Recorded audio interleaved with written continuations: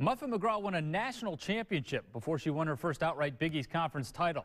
It didn't take her or her squad nearly as long to take over the ACC.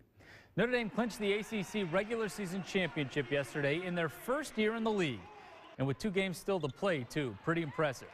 With the win over Duke, the Irish also claimed an all-important double bye in the upcoming league tournament.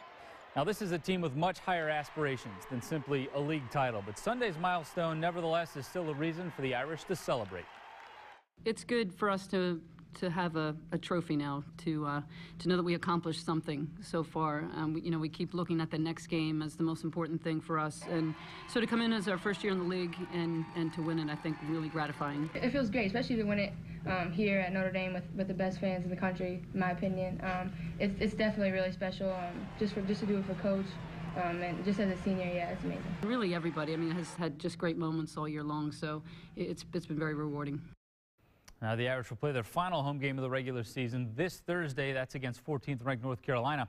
In addition, sophomore Jewell Lloyd was named the ACC's Player of the Week as well as ESPN's National Player of the Week. She averaged more than 25 points per game last week in three victories for the Irish. Louis Nix on display today at the NFL Combine.